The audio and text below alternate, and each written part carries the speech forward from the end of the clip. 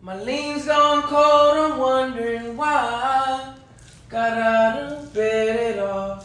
3.5 clouds up my window, and I can't see it all. And even if I could, it would all be gray. But these racks stacked up too tall, it reminds me that it's not so bad, it's not so bad at all.